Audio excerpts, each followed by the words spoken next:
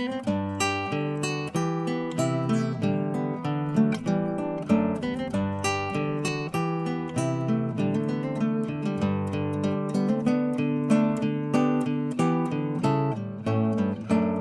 Terre, sapori e vini ancora in vostra compagnia, ancora gli aggiornamenti, i viaggi, le avventure, i percorsi attraverso i grandi sapori d'Italia, i grandi territori, ma soprattutto in questo caso i grandi vini. Paolo Pizziol, Villa, eh? realtà Francia Cortina, comune di Monticelli Brusati, bollicine su tutto. Assolutamente, qui siamo in Franciacorta, quindi il vino principale chiaramente sono le bollicine, è il Franciacorta un'azienda storica, un'azienda, un vecchio borgo del 1500 dove il vino si è sempre fatto, nella mm. testimonianza la vecchia cantina. Sì, sì e dove però dagli anni 70 anche qui si è iniziata questa avventura delle bollicine che nascevano in quegli anni e da lì poi pian piano l'azienda si è sviluppata ed oggi è una realtà prevalentemente di bollicine. Ecco, parliamo 30 secondi, il territorio, che terroir abbiamo qui? Allora, la Franciacorta ha un territorio che non è uguale, abbastanza diverso a seconda delle, delle zone, in particolare abbiamo una zona centrale che è di origine morenica, mm. mentre qui ci troviamo in una realtà di origine di marna, di territorio di origine marina, di formazione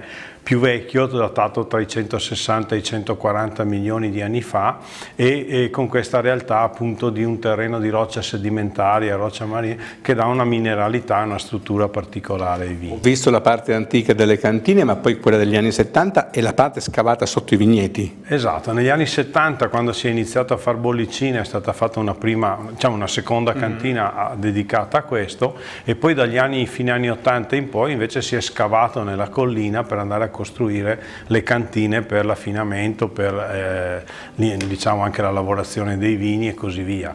Quanti vini producete?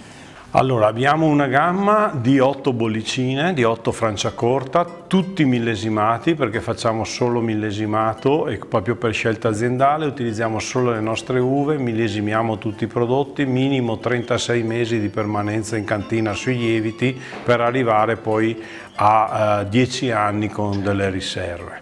E poi abbiamo, abbiamo, mantenuto comunque anche una produzione di vini fermi che rappresentano la nostra storia e quindi abbiamo quattro tipologie a seconda delle annate, comprese le riserve, quattro tipologie di vini rossi e due di vini bianchi fermi. Hai capito che bella realtà. Abbiamo citato, per meglio dire hai citato il borgo medievale che vive oggi come oggi, perché qui c'è una grande ricezione turistica anche come azienda. Sì, eh, abbiamo in questo vecchio borgo dove in origine eh, c'erano le stalle, la parte agricola e abitavano una ventina di famiglie di salariati che vivevano in azienda, pian piano si è vuotato, le stalle le abbiamo chiuse e ci siamo dedicati alla parte vitivinicola. Quindi c'era un borgo da recuperare, da ristrutturare e a partire dal 91 abbiamo iniziato un lavoro di recupero dandogli una destinazione agrituristica. Completiamo in bellezza Villa come realtà di cantina, come realtà aziendale e i suoi eventi. Durante l'anno voi avete sempre siete sempre in movimento. Sì, diciamo che eh, noi crediamo sia molto importante far assaggiare e conoscere direttamente il prodotto, quindi più che investire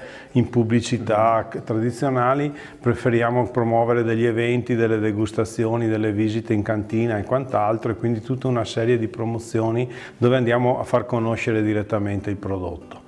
Paolo, io ti ringrazio tantissimo della tua gentilezza, del tuo tempo, eh, come dico sempre, spesso e volentieri anche ai tuoi colleghi, facciamo una bella cosa perché parlare va bene, ma bere meglio, se gentilmente io ti faccio lavorare, vuoi già cominciare a prendere una bottiglia firmata Villa e farmi gustare due bollicine, io intanto no, scherzi a parte, ringrazio loro come azienda, l'attenta regia di Pietro Marcellino, Terre, Sapori e Vini, rimanete con noi con i nostri aggiornamenti perché portiamo sempre nelle vostre case l'Italia che piace. Grazie.